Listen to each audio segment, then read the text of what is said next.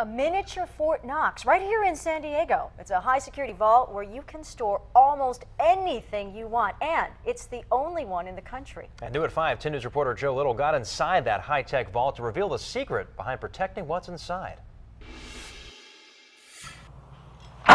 Behind the 4,500 pound stainless steel door Then we go inside. is what could be the safest safety deposit box vault in the world. You are now inside Blue Vault, the first privately owned bank vault storage in the United States. This is a class one burglary vault. That means it exceeds the Department of Defense. Located in an unassuming Mission Valley strip mall right next to Jamba Juice, Security manager David Johnson says the actual Blue Vault is a 90 ton block surrounded by 61 panels of highly compressed concrete. Each panel weighs two tons. The only entry point is this door. What can get through that door?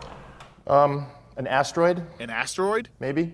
Johnson says it can withstand pretty much everything else, including explosives and earthquakes. So if the entire building comes down around the vault, the vault's going to be fine. You're going to dig it out of the rubble. And that's just the Blue Vault itself. Just getting into the lobby here takes four layers of security from the high tech to traditional security cameras. This is a Fujitsu palm scanner. It's designed by the Israelis. It reads your blood vessels inside your hand. High end security out of a James Bond movie. But it's not for the rich and famous, it's for anyone who wants to protect their valuables. Nothing biological, nothing hazardous, nothing that goes boom, no controlled substances. For as little as $15 a month. They slide in to a unit like so. Open since last year, Johnson says this will be the first of 200 such vaults across the nation. No one's getting into this vault. Maybe not even an asteroid.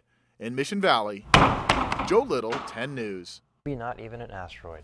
For a closer look at prices and the security inside the vault, just go to 10news.com and click on the red TV button.